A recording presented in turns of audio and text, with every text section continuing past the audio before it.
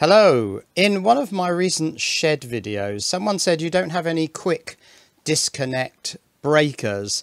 And I thought, you're right, I don't. Uh, between the solar panel and the battery, and between the battery and the devices which are consuming power. So I thought I'd get one of these. Uh, this is a 30 amp DC circuit breakers uh, on AliExpress. They do two types. This one with uh, wire end connectors and there's another type that's slightly fatter and it has bolt connectors for ring terminals. Uh, this sort of thing, these are very large M12 ring terminals, but uh, yeah, they've got uh, two bolts on either corner, I think it is. So the way this works is that at around 30 amps, um, the contact inside here breaks and it's the equivalent of me pushing this button and then this uh, piece of plastic rotates and there's a little foot inside which is slightly offset from this flag and it wedges itself between the two contacts. So even it's a bimetallic strip in here so even when the bimetallic strip cools down it, and attempts to remake the contact it can't. So it's a one shot disconnect and then you have to uh, move the lever to reconnect the circuit, which is good because you don't want your fuse making and breaking periodically. And the convention here, as with uh, plumbing taps, is that when the lever is in the direction of flow, then the circuit is made. And when the lever is uh, perpendicular to the direction of flow, this one doesn't quite go all the way perpendicular, that means the circuit is broken and it's the same with this device. Okay, let's take this apart. There are two screws underneath. One of them undoes and will come out. The other one is slightly odd. It, it just sort of binds and so that one doesn't want to come undone. Now there are four what look like rivet tops here, but these are just pins and if you can get your pliers or cutters, cutters probably, uh, underneath these, then you can just simply lever them out. Okay, let's try that. So this one is the least pushed down. Don't want to damage these cutters, but yeah, I can lever that up and then it just comes out and there's nothing on there. It's just a straight pin that pushes into uh, the plastic underneath, but that's enough to uh, hold the lid on. So I'll do the other three. Right, let's move the camera down and get a closer view of this. So these are now out. Let's take all of them out. Now the only other thing you have to do is uh, lift this flag thing off its spindle. It's just got a little D-shaped uh, indent there so that it's always in the right position. And then this top piece comes off. So you can see there's no connection between the little push button and the rotating uh, flag and foot under there. The push button presses down on this lever, which in turn lifts up the bimetallic strip and thus uh, disconnects one of the contacts from the other. And as you raise that up, this um, rotating flag, and I don't know whether you can see this, but there is a spring which is wrapped around it so that it uh, wants to rotate.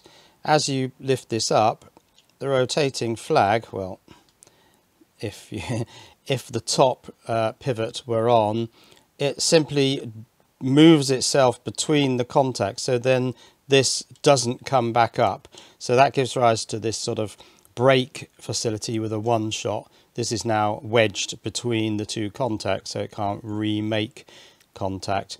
Um, the screw that bound up, it does it because there's a nut on there. So I need to put a nut spinner on there to undo that screw. Uh, but first, let's take out this lever, which just sits in there like that. And that simply is to allow the push button to push in, and that in turn lifts up the contact. So that contact is now disconnected from the contact below. The foot has rotated round, jammed itself between the two contacts so they can't remake even if the bimetallic strip cools down. Okay, let me undo that nut and we'll take a look at the bimetallic strip.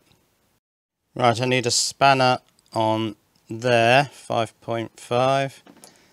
And now undo this. And it's quite tight.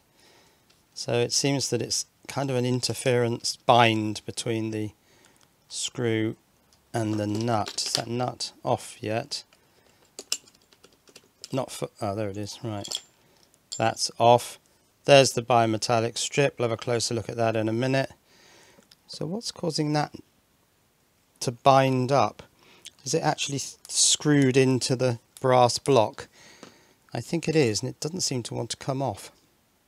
So with the bimetallic uh, strip contact removed, you can see this screw really didn't want to un unscrew completely out of the, uh, I don't know, brass uh, contact there.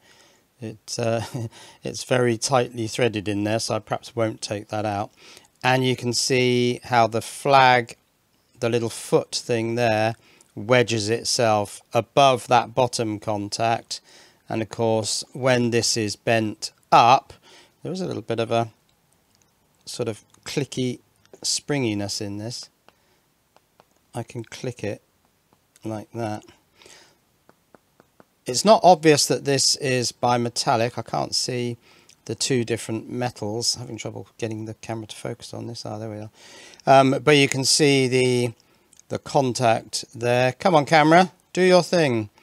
And uh, this lifter bar, which is what that lever sits under, to lift that up when you press the little red button. And now if I lift this out, uh, that means getting the spring off its post. I'm not sure how to do that. I'll get some pliers. And so all you can see in here are the two contacts. They're bridged across by the bimetallic strip when it's uh, bolted down on here. And I should be able to undo this uh, bolt screw that's holding in this connector and will that come out? of course it won't, that's uh, screwed on there, but that should now come out. Yeah, so this is the other side of the contact. It's uh, these two pieces here that make the 30 amp contact. And of course this is available in higher currents. Uh, let me just check what the maximum current you can get this device in is. Okay, taking a look at this uh, terminal here, there's a, a rubber O-ring on here, so it's somewhat moisture proof uh, with that in there. Although, of course, this lid doesn't have any gasket on it. Uh, where's my little nut spinner? No, grub screw remover. Uh, so there's a grub screw there for tightening the contact and there's also a little reducer in here which you can use or not if you've got a cable that's smaller than that and that's enormous and the o-ring comes away like so and now I thought I'd have a go at getting this um, bimetallic strip to bend uh, you can see that it's slightly biased down in the direction of the contact being closed. But let's put it in my heat gun here and see if I can make it bend. I'm not quite sure how much heat I'm going to need. But let's give it a go. It should bend up quite a bit. Oh, there it goes. Oh yes, quite bent. Now, well, when it cools down, will it bend back? This is the question. And it does have this um, sort of uh, fold in it or bias in it so that it has a sort of bistable effect. It, it clicked open. Now when it cools down, will it click closed again? I'll just have to keep the camera running on this and see what happens when it cools down. Will it click closed? Oh yes, it clicked. Fantastic. Uh, what's interesting is now that I've attached it back in here, the bimetallic strip, it's actually beyond that click point, that bistable point. So it's just its springiness that you can feel here. It doesn't actually, it isn't allowed to go down far enough to go past that, that sort of click bistable point. But um, yeah, when it heats up, this will of course lift up and break the contact. And then the foot, which I now need to disassemble all this to put in, uh, simply rotates and puts, it's a little flag, I suppose. The little flag there puts itself between the two contacts. Um, so now when this is hot, I'm not sure whether there'll be any melting effect on this little flag and therefore uh, I don't know how many times this will operate before this all starts getting a bit melty. Maybe it doesn't get hot enough to actually melt this plastic. Maybe it's a thermosetting plastic. I don't know.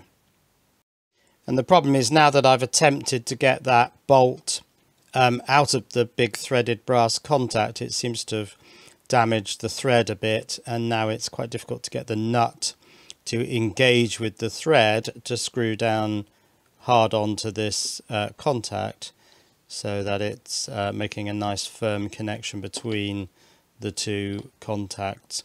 But I'm going to reassemble it now and uh, possibly I'll use this one, although I don't particularly like these very fat uh, wire connectors. So I might go for the one with the two uh, bolt terminals with little nuts that you screw down and ring terminals. And now that I've reassembled it for the second time, if I hold that foot out, it is clicking, which is slightly strange. Um, but you know these things, they're different every time you assemble them, aren't they? Yeah, interesting. Anyway, that was a complete take apart of this uh, 30 amp DC uh, thermal, I suppose, because it's got the bimetallic strip. Uh, contact breaker, I will get a few of these and put them in the shed so that um, very quickly, if you want to disconnect stuff, just press the button and it's all disconnected. But that's it for this video, so cheerio.